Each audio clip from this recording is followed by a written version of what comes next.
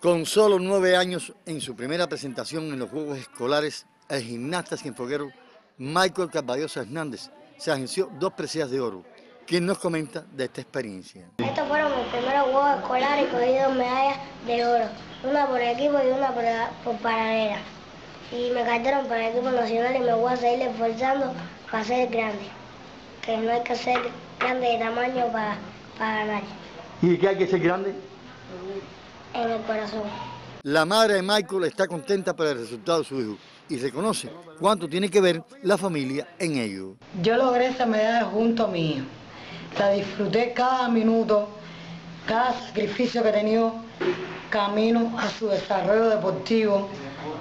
Esa medalla a la luz fue para mí un logro. Junto a Michael hay otros tres cienfuegueros que por sus resultados en los Juegos Escolares de 2024 fueron promovidos a la Escuela Nacional de Gimnasia. En total, suman nueve los sureños en ese centro deportivo. Deportiva, Primitivo González, Notisur.